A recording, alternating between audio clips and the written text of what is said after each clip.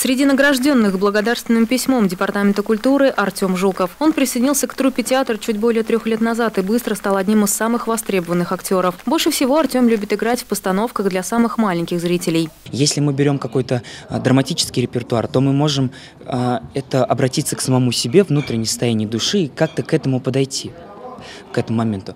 А в сказке это порой бывает фантазии. В это нужно верить и отдаваться эти, вот, как я сказал, на 200%. И при этом, а, если ты играешь как вот гнома, нужно верить, что гномы существуют. Поздравляя коллектив театра с юбилеем, Александр Тихонов вспомнил тех, кто стоял у истоков создания нашего театра, порассуждал о настоящем и попробовал заглянуть в будущее. Будущее, понятно, что много молодежи, много опытных актеров. И в этом смысле я думаю, что будущее нашего театра – нашего театра прекрасно.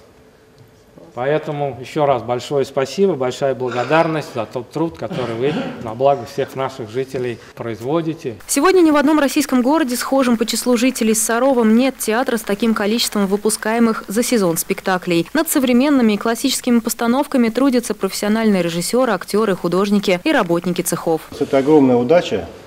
Огромная удача, что отцы-основатели, работая над самым страшным оружием современности, приняли решение на самых начальных этапах создания объекта, что нужен городу театр, что э, люди, занимающиеся сложным интеллектуальным трудом, должны заряжаться эмоциями и должны э, о смыслах думать всегда, о смыслах хорошего, о смыслах жизни. Центральным торжественным событием, приуроченным к юбилею театра, станет праздничный вечер 19 апреля.